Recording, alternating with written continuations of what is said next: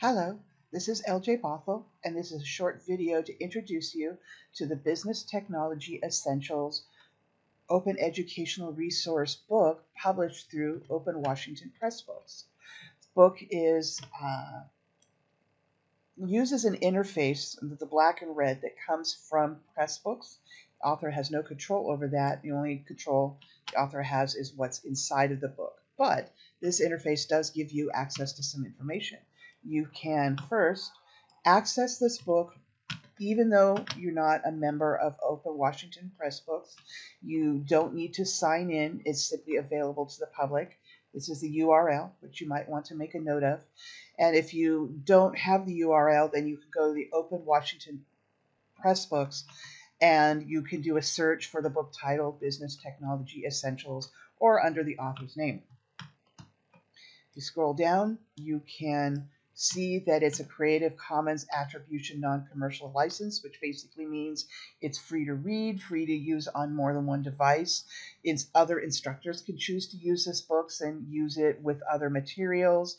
And as a student um, or an instructor, you're allowed to print this book out because it is uh, open license. It is not subject to being um, you know, breaking copyright by making a printout. You can download this book using this drop down below the, the book image. You can download it in EPUB format, a digital PDF format, or a print PDF format if you happen to want to print the book out because you like to actually have a physical, tangible, tangible book next to you.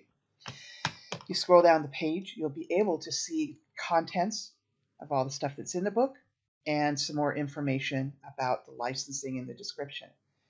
To read the book, to use the book, basically choose read book, and then you will end up in the interface that shows you the chapters in order. It will start with the very first page, and then you can, at the lower right, click next part, next chapter. And if you decide you want to go to a previous chapter, at the lower left, you have a link to that. There's also a link to the contents on the left-hand side of the screen in a drop-down. The main body tends to be collapsed as a default. If you click the plus sign to uncollapse it, then you will be able to see the various chapters. And you can also collapse that and then also collapse the contents and then just start using the book. Let's take a look at one of the chapters just to see what it looks like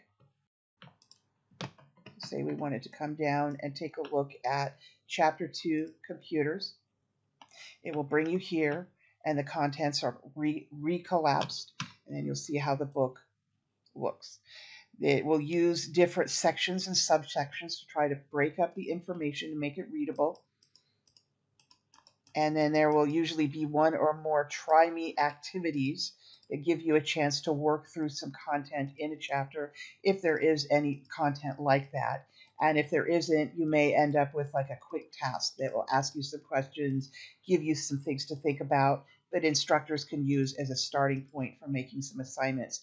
There'll be a few images here and there, and the images do have alt text, although you don't see them when you hover over the image like you may on other websites. They do have alt uh, alt uh, text in them so that this book should be set up properly for a uh, text uh, reader to be able to acquire the information in order for someone who needs to use a screen reader and uh, rely on that for the information.